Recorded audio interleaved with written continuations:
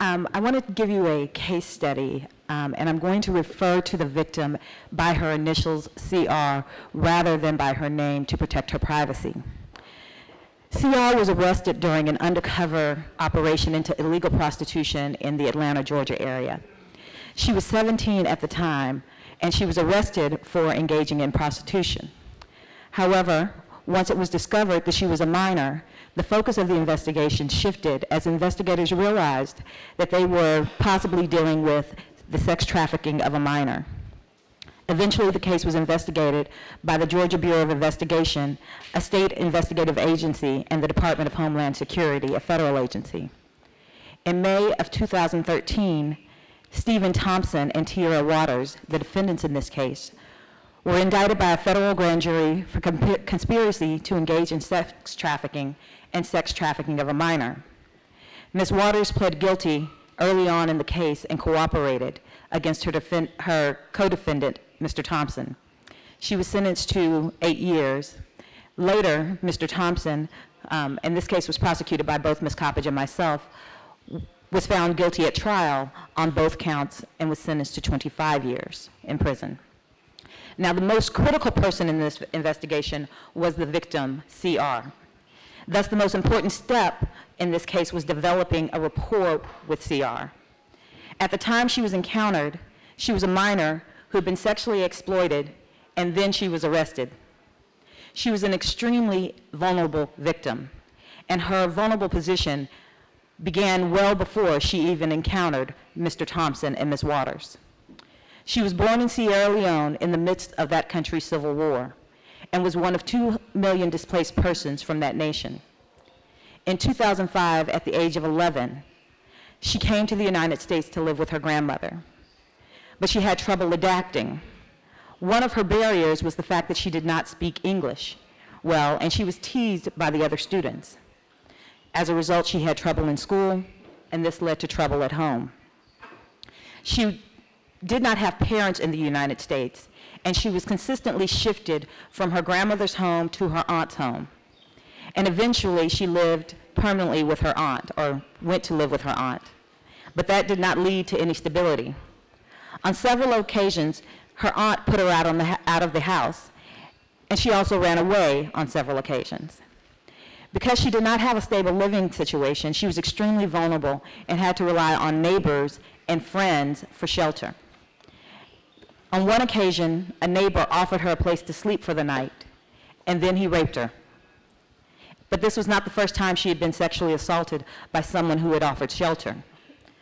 When she was previously living with her family in Sierra Leone, a male family member also sexually assaulted her. So before the age of 12, this child had faced sexual assault in the, in the very places where she should have been the most safe. The lack of family stability led to her being placed in a shelter when she was just 17 years old. And in 2014, she once again found herself without a home. But she made a plan to enter a job training program. All she needed was a place to live for three months. A friend of hers told her about Tierra Waters, who would help young girls. She thought this was a savior. But after moving in with Tierra Waters and her boyfriend, Mr. Thompson, and living with them for two weeks. She was told that she would have to engage in prostitution or she would find herself homeless once more. Afraid of being homeless, and again telling herself that she only had to do this for a short period of time, she began engaging in prostitution, and she was forced to give the money that she made to Mr. Thompson. Also during this time, Mr. Thompson raped her and also boasted about killing other people. He was physically violent to Miss Waters and, T- and CR lived in fear for the seven weeks before she was arrested. Now, fortunately, she encountered law enforcement that had been trained in sex trafficking and who took a victim centered approach to the case. The investigators immediately went to work to stabilize CR. She was placed in a group home for girls and no longer had to worry about having a safe place to eat. And she also worked with counselors who helped her deal with her psychological and emotional trauma. Because of her age, she, did, she was placed in a group home, but I want to note that for older victims of trafficking, assistance is available for food, shelter, employment, and other necessities. And this is critical to stabilizing victims. At the same time that victim assistance was working to stabilize her, investigators worked to develop trust with her. They maintained contact through a dedicated liaison. They assured her that she was not in any legal trouble, and I want to note, um, as Ambassador Coppedge noted, that she did not face charges um, on prostitution because once it was determined that she was a um, minor, those charges were dismissed. So she did not actually, um, she was not convicted of that. Um, and as they helped her stabilize, CR helped enforcement build the case against uh, Mr. Thompson and Ms. Waters. Now, it is important for judges and fact finders to understand that there may be contradictory testimony, and we had this with um, CR from the beginning of the case. Oftentimes, victims are fear law enforcement. They've oftentimes been trained on what to say if they're caught. They also, of course, fear the trafficker. And then there is the stigma of shame, which was very, very strong with CR. She came from a small community and she did not want that to get back to the community that she had been engaging in prostitution. One of the things that is very important for judges to, and fact finders to understand is that there are reasons, and it is important to have fact, um, forensic specialists and other experts to work with the victim from the very beginning, not only to help the victim, but also when it comes time to try for trial, they can help explain these, why there's contradiction, why it took a while for the victim to tell the full story to the court. Now, in the end, Mr. Thompson and Waters were convicted of coercing, um, co coercion. And in the United States, I think this is an important definition. Coercion is using threats of serious harm to or physical restraint against any person or any scheme, plan, or pattern intended to cause a person to believe that a failure to perform an act would result in serious harm or harm to or physical restraint against that person. Now, in CR's case, there was a threat of violence, but more importantly, it was the threat of homelessness. And the critical thing that I think the American law does is say that coercion is to be taken from the mindset of a person in the same circumstances and background of the victim. And so it's not how you or I or the fact finder would have acted in a situation. It's how the victim would have acted. And in this case, CR was able to testify about her family situation, the lack of stability, the sexual abuse in her past, and prior instances of homelessness. And this helped the jury understand that from her position, it was serious harm to be homeless, and that is why she engaged. And I believe based on the ability of CR to tell her story and the law that said, look at it from the view of the victim, the jury found that these two people had in fact coerced CR into engaging in prostitution. Thank you.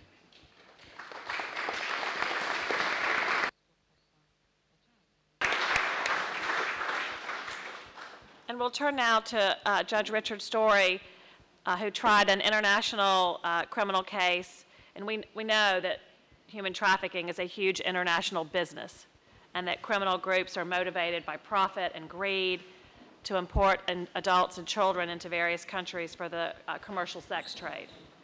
And Judge Story, you had one such case where the victims ranged in age from 14 years old to 24 when they were recruited by a family run uh, sex trafficking operation in the state of Tlaxcala, Mexico, and smuggled into the United States. Judge Story, can you talk a little bit about this case and how it came to you and the lessons that you learned from it as the judicial officer trying the case? Yes, thank you. And let me begin by thanking the Academy for giving me the opportunity to be here. Uh, it's certainly an honor for me to participate uh, in this very meaningful program. The case uh, that Ambassador Coppedge referred to uh, involved uh, 10 young women who had been targeted uh, by what I'll refer to as the Cortez Meza organization. These women uh, were young and educated women, generally from impoverished areas in Mexico, uh, and the men came to their communities and used deception, uh, threats, uh, physical violence, psychological manipulation, promises of love, marriage, and a better life to compel the victims to come to the United States uh, and live with them. Uh, the lead defendant, who ultimately went to trial, the other defendants all pled guilty, but the lead defendant was a young man named Amador Cortez Meza, uh, and he, along with his brothers and nephews, uh, found these young women in, Me- in Mexico. And as I said, they typically would uh, go into the community, uh, stay there for a short while, get to know the, the young women and their families, uh, and would represent to them that they uh, had fallen in love with the young women, wanted to uh, marry them, take them to the United States, and have a better life.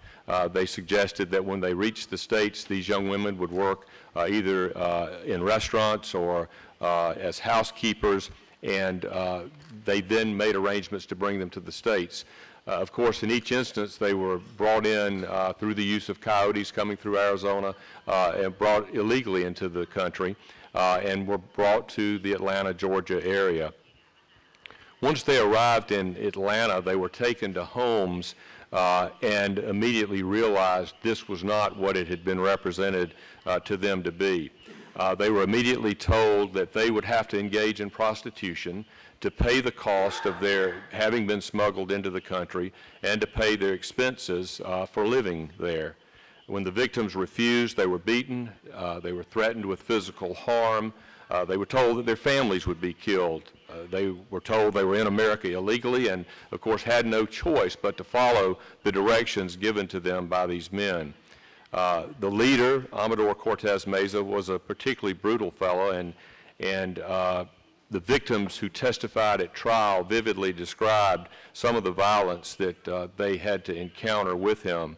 One of the victims, who was only 15 years old at the time, recounted a time uh, when Amador uh, had held a knife to her throat, threatened to kill her because she had talked back to him. Another victim was dragged down a staircase by her hair, beaten with the rod from a closet, and after the closet rod broke across her body, uh, Amador threw a, an iron at her head uh, and sliced her head open. Uh, her head bled for over a week, and of course, she was denied medical care or any treatment for that. Another victim who kept trying to resist the prostitution and even attempted to escape was brutally beaten with a broom and a chair by Amador. As she attempted to shield her head uh, from the blows, uh, he broke her finger, uh, leaving it permanently disfigured. When she appeared at trial, she held up her hand, and you could see the disfigurement, uh, and she, of course, was never allowed to get any medical care for that.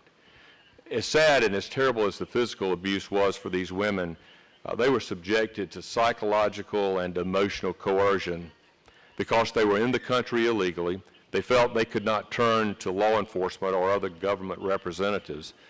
Uh, perhaps even more devastating for them, they could not report their circumstances to their own families.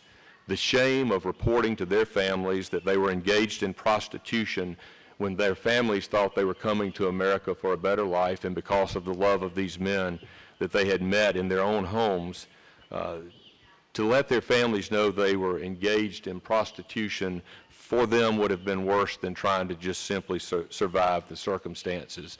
And the circumstances were shocking to me. It was beyond anything I could comprehend. These women would be taken to apartment complexes each evening. They were expected to work seven nights a week. Men would be advised that the women were coming and would be lined up waiting for them.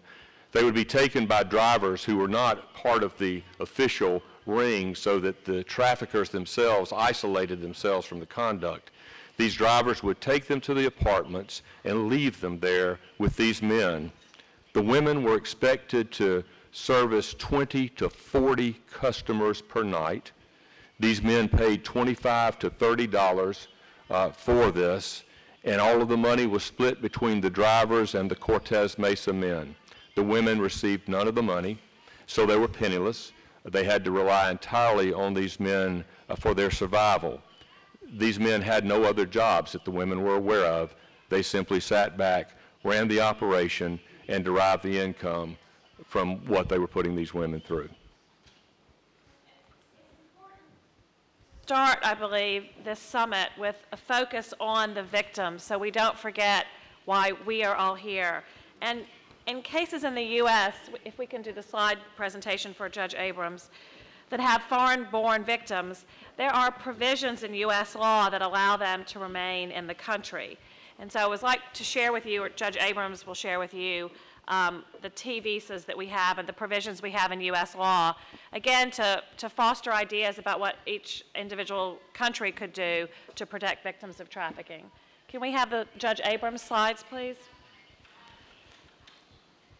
I'm going to skip ahead to the T visa um, portion because most of the first slides Judge Abrams simply discussed. Judge Abrams? Okay, so there are two statuses. Um, oftentimes, victims will come to the U.S. Um, and they've been trafficked, so they do not have any legal status. And that is one of their prime vulnerabilities. Um, the fact that they are not here in the United States legally, so they are threatened with possible deportation. They also are, are unable to work in any other, find any legitimate work. So under the T visa program, a person who has, is or has been a victim of sex trafficking is allowed to apply for a non-immigrant immigrant visa. Um, the T visa will allow a victim of human trafficking to remain in the United States for up to four years. The person also gets an authorization for employment, which is again key, because not only are they now from un, out from under the stigma or the, the threat of being deported, but they are also um, allowed to work and make money.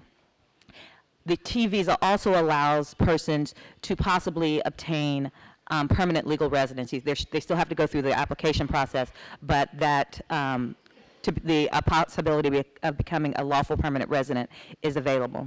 Finally, the another important factor of the T visa is that the immediate family or relative of a person who obtains the T visa may obtain derivative non-immigrant status and come to the United States. Again, this is critical for persons whose family might face danger um, once they come out or, or, come out of the prostitution or out of um, the trafficking, and also for victims who are vulnerable still in the United States and are living without family. So that is one of the forms of protection um, that is provided.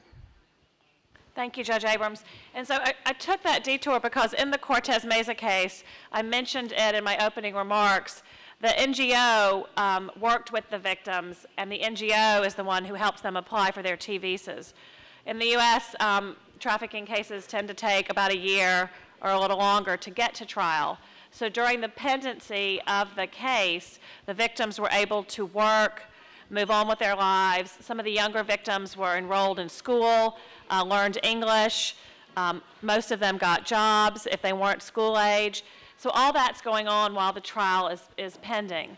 And Judge Story, if we could turn back to you and have you talk about um, after the defendant was convicted, uh, what factors you considered in sentencing, because I think that those factors are also important um, the way the U.S. sets up our sentencing system. Thank you. In the United States, we have a sentencing commission that has established guidelines that judges are required to consider in sentencing in any case. And uh, the, the, factors are, are, common sense type factors, quite honestly. They're factors that, as a judge sentencing a person, I think most any of us would uh, take into account.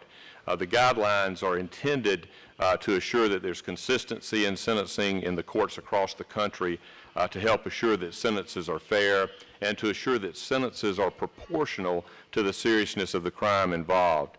Uh, these guidelines establish a, a, baseline punishment and then allow you to take into account other factors before determining the final sentence uh, in the case. Uh, in the human trafficking area, some of the factors uh, that under the guidelines will enhance or increase a sentence include the use of fraud or coercion, uh, the use of force or threats of force, the number of victims, uh, the fact that victims may be minors, and if the perpetrator of the crime is part of an organized effort, the role that that person plays in that organization. Uh, at a sentencing hearing, uh, we typically hear from the statement, this, uh, a statement from the defendant. The defendant is uh, permitted to allocute and make a statement and to offer witnesses in his or her behalf as well. But another important aspect of sentencing uh, and the sentencing hearing is the opportunity for the victims themselves to address the court. The victims are permitted to discuss how the crime has affected them and to express their views concerning punishment of the defendant. I think that for most judges, uh, this part of the sentencing process is the most informative.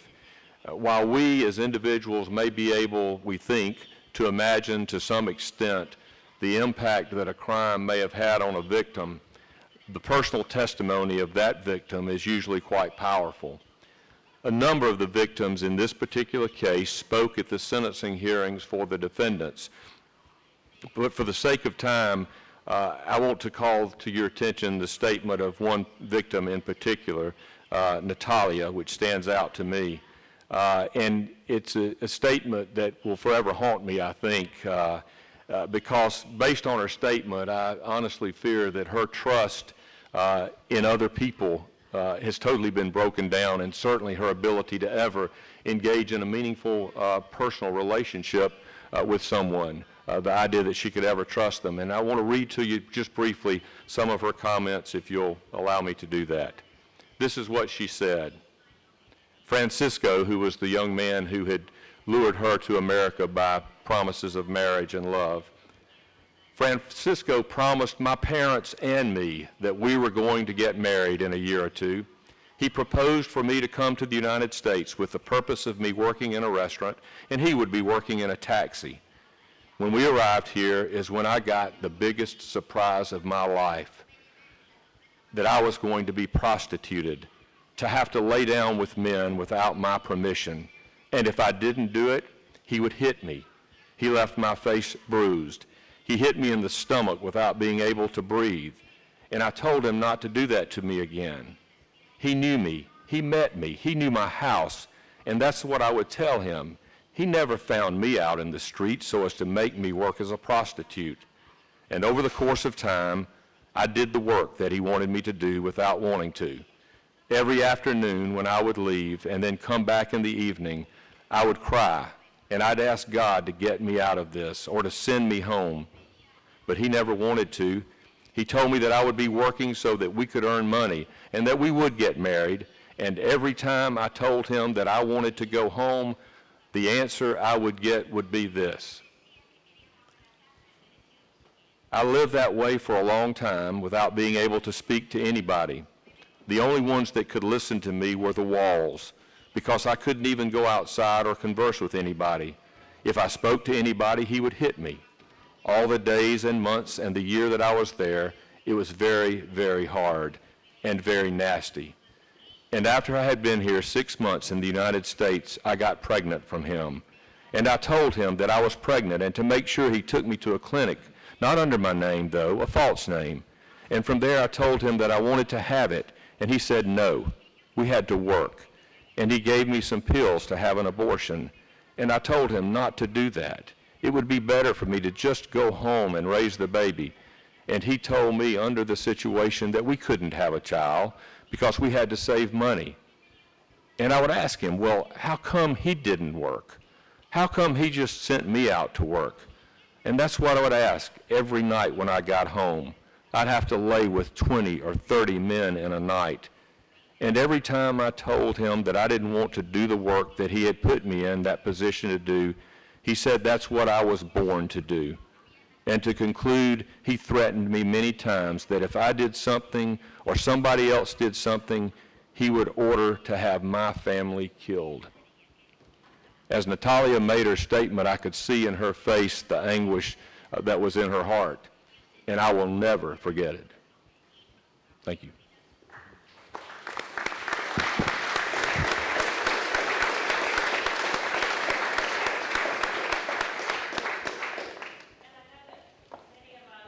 Here today have stories with victims that we have met. But again, I think this sets the tone for the work that we're doing and why it's so important to give voices and opportunities to those who think they have no voice, that the system does not respect them, and that they have no um, opportunities. And in, in our court systems, you have heard from two of our trial, federal trial judges in the United States, And I would like to conclude with United States Court of Appeals Judge Beverly Martin, who then looks at legal issues that arise in all of our criminal cases, including human trafficking cases. Uh, Judge Martin, you are an appellate judge now, although you were a trial judge for many years, uh, and a U.S. attorney as well.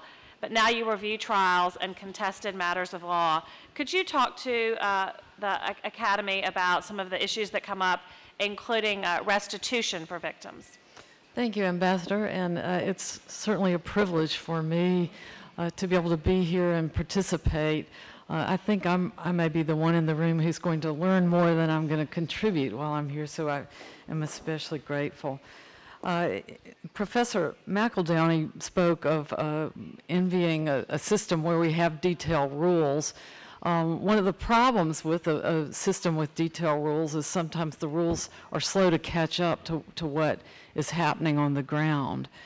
Um, I think what we've already established, even this morning, is that uh, solving this problem begins with identifying the victims and supporting them in a way that will allow us to uh, bring the traffickers uh, to, to justice.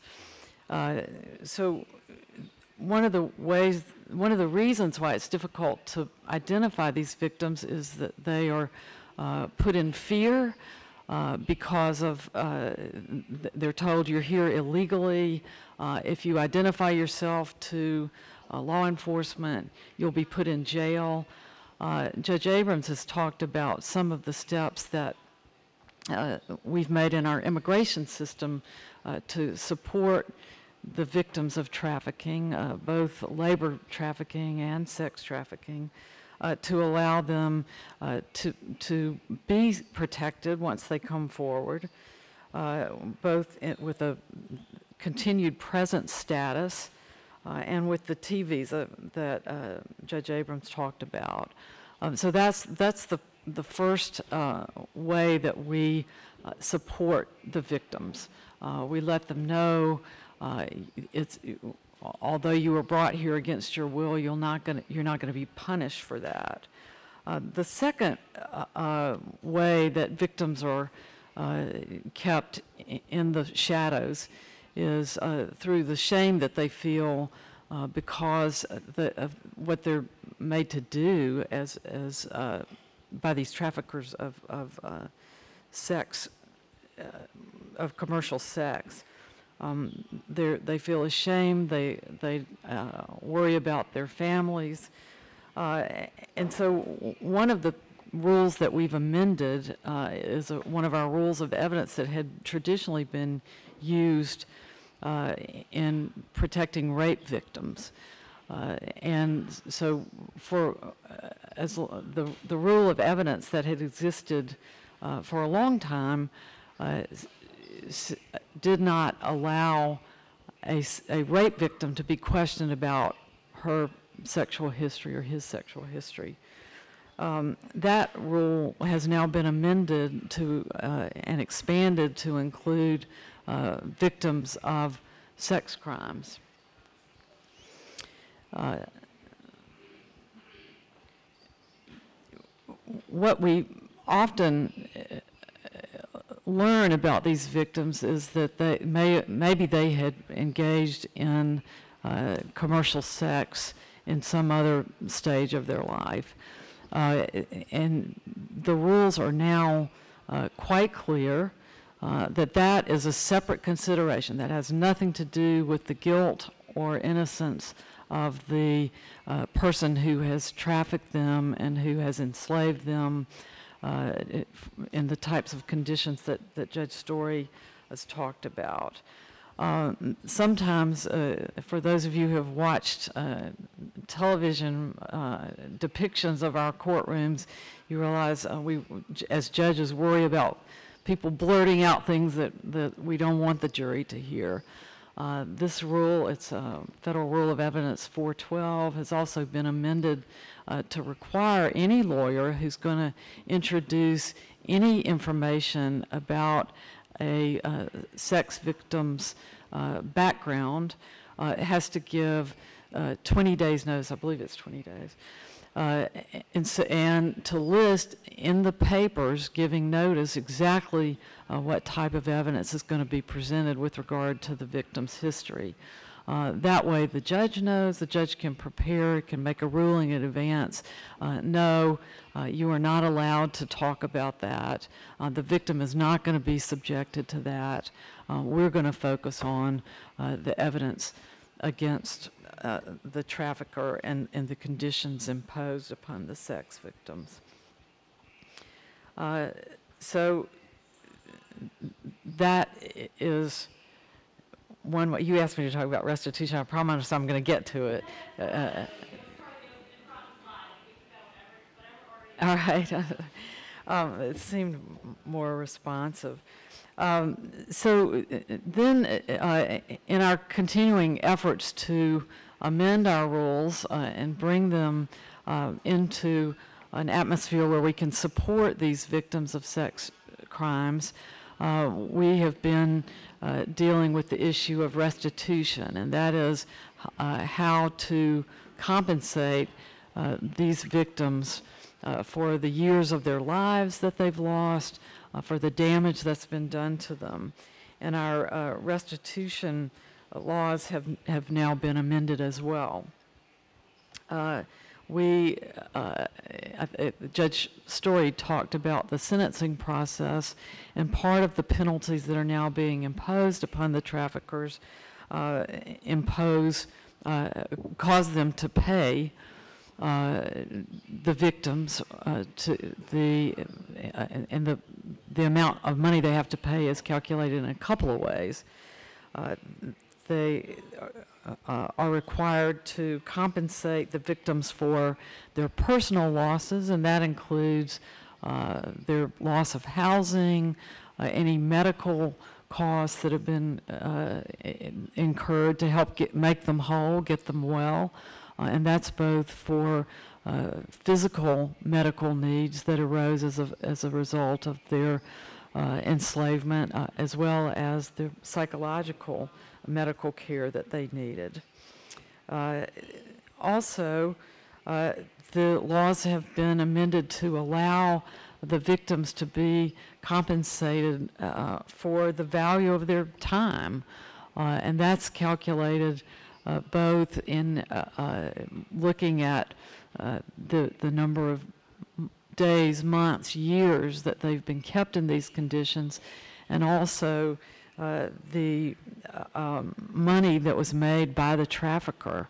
Uh, and in those instances, and as a part of the sentencing, the, the victims are allowed to come in and talk about uh, the conditions, which um, we hope is done in an environment uh, where they can uh, be nurtured and supported, and certainly with trial judges like Judge Abrams and Judge Story and Judge Duffy, who you'll hear from uh, either to, later today or tomorrow.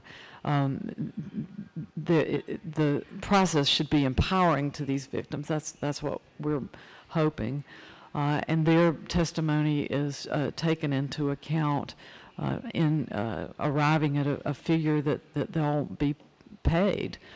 Uh, there's always a question of whether the restitution awarded is going to be collectible.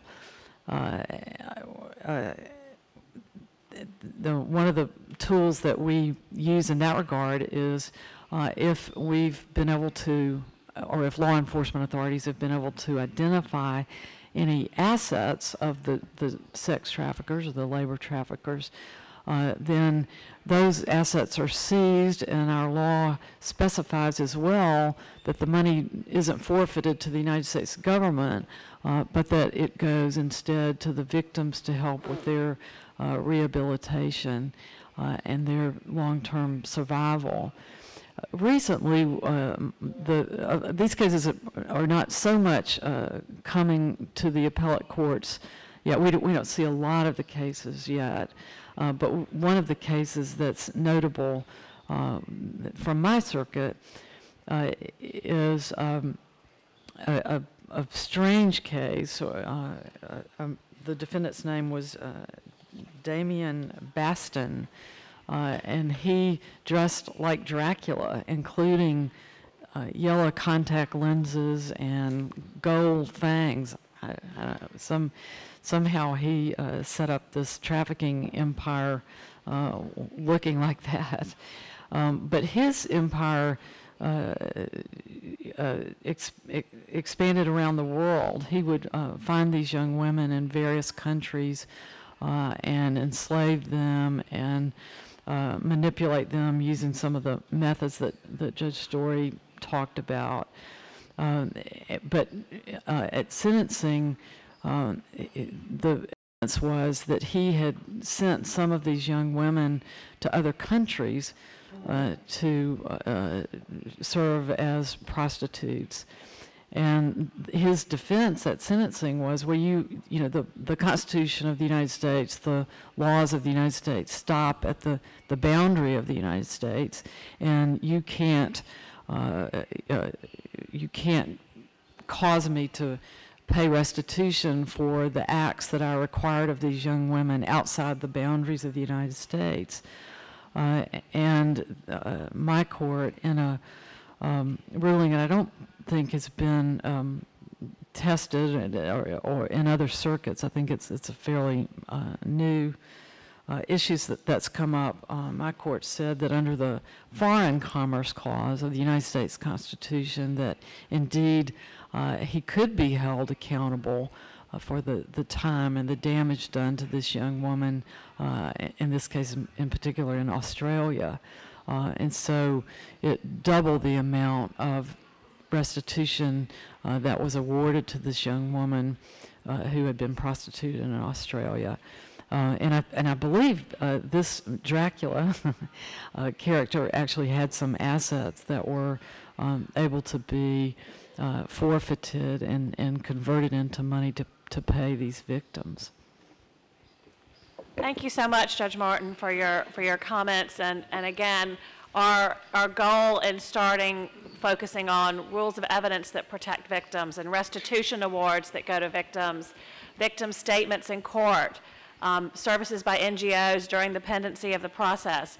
All of, of these areas are ways that the U.S. system supports victims of trafficking um, in an effort to make them whole again and help them start a path down towards their new lives. So we really appreciate you. My two goals were to put victims front and center and to end on time. I know I've accomplished the second one. I hope I've accomplished the first. Thank you all very much for allowing us to address you.